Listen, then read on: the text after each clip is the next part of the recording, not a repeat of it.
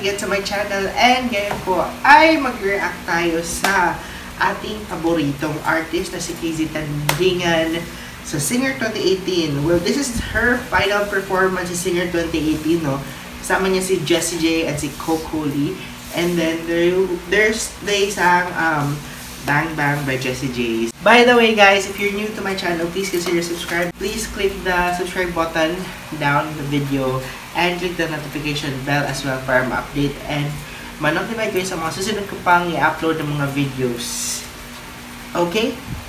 So, let's get down to business and let's react to the to their performance. Mabagal ang internet ngayon.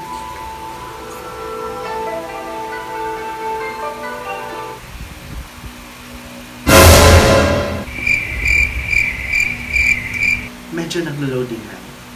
Hintayin lang muna natin sa saglit. Oh no. Hindi kaya. Saglit lang ha. Saglit, saglit. Pause muna natin.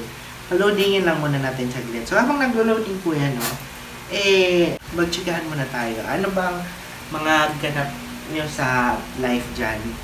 Ikaw, ano mga ganap niyo sa life dyan? Meron bang mga ganap? By the way guys, for those of you na nakatutok doon sa BTS Reaction Week ko, by the way, um, last week na upload ko na yung first video for BTS Reaction Week, no? But, unfortunately, hindi ko nasunod i-upload yung mga susunod na mga videos. Kasi, um, nag-graduation yung sister ko, and um, naging busy so hindi ako nagkaroon ng pagkakataon na i-upload yon so watch out for this week ngayong week na to bukas i-upload ko yung if you're watching this ngayon today is today is April 16 and bukas April 17 i-upload ko yung second video and hopefully tuloy-tuloy na yun ah. i-upload ko na siya tong tuloy-tuloy para mapanood niyo na yung um, full reaction um, video, full video ko ng reaction week for BTS. Kaya, please watch out for that, guys. So, sana ay nag-load na siya.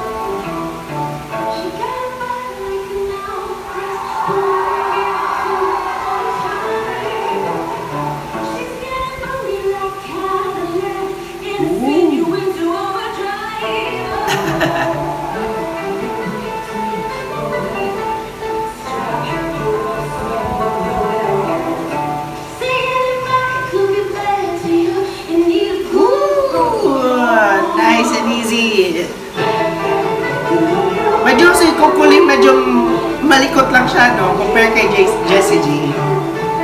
Si Jessie J medyo kalma lang. Kasi Kukulim parang gusto niya na talagang gumalaw.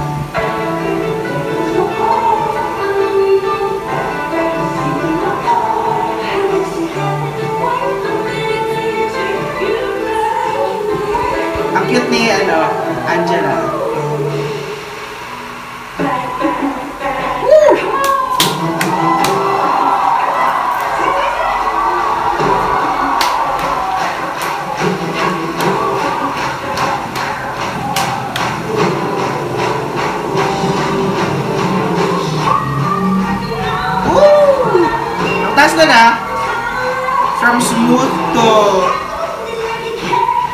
key transition.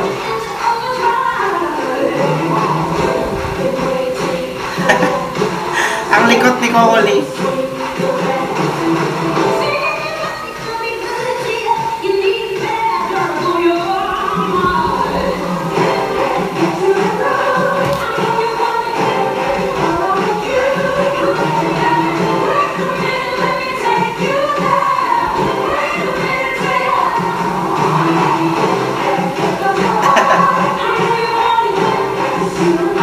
Lee. Ang kulit nito.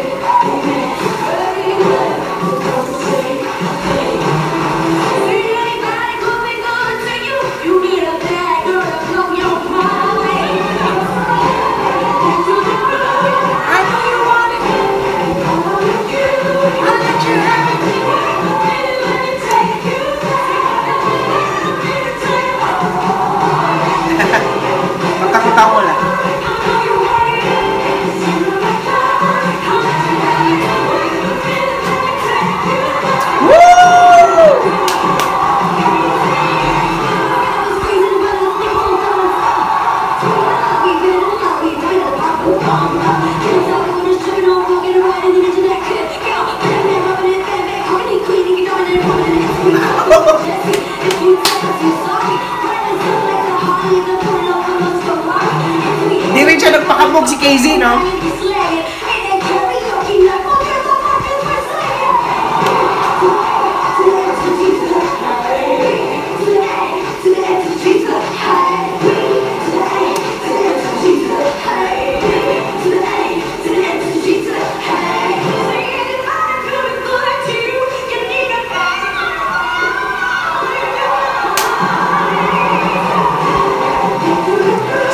Na yung crowd.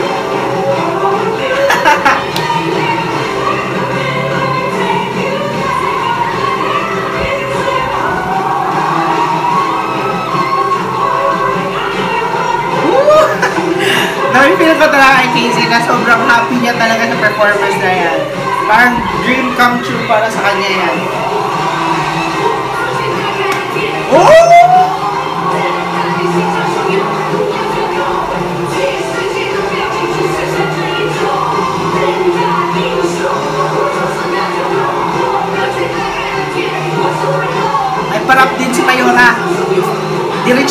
Rin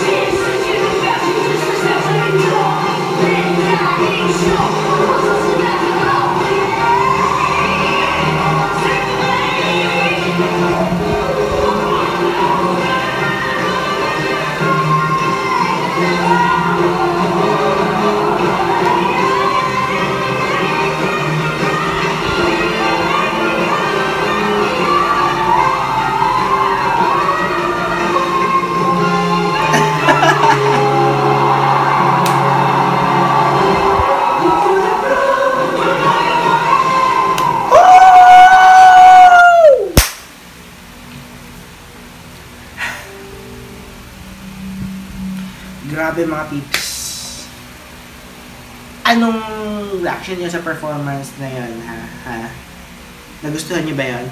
I'm sure um, sa sa sa lahat ng nakasubaybay talaga eh, nakapalo, nakapanood sa mga performances ni KZ, I think she really um, deserve to to perform again no sa Singer 2018 and parang for me, ito yung um, parang nakifeel ko kay KZ Tandingan na sobrang yung happiness niya sa performance na yan. Kasi parang a dream come true for her to be singing with her idol. Kasi di ba nga si Jessie J yung parang biggest influence niya sa pagiging artist. And for an artist na makasabay, maka-duet, maka makasama sa isang stage yung um, idolo mo, parang isang malaking bagay na yun. And to think na na-eliminate siya, no, I'm not sure if yung ibang mga na-eliminate lang karoon ng chance to perform sa finals, but um, I'm so happy na nabigyan ng chance ulit si KZ na maka, maka-perform talaga. Kasi sobrang galing talaga ni KZ dito. And super makikita mo sa reaction ng audience no sa Chinese crowd kung gano'n nila talaga tinanggap si Casey Tandingan no not just Jessie J but also Casey Tandingan na not not their own artist. Eh parang every time na lumabas si Casey grabe yung hiyawan nila no? Parang nilulook forward nila palagi yung performance si Casey. And I I know and I hope na hindi ito um, hindi ito yung last na makikita natin si Je- uh, si Hazy um, spread her wings no sa sa outside the Philippines, outside Filipino market. So, I hope na mabigyan din siya ng pagkakataon na maybe siguro mag-release na album sa China. That's a really big big achievement for her and para sa atin din na mga fans niya and sa atin na sumusubaybay sa journey niya um, dito sa singer, eh, parang mas isang malaking achievement na din para sa atin yun.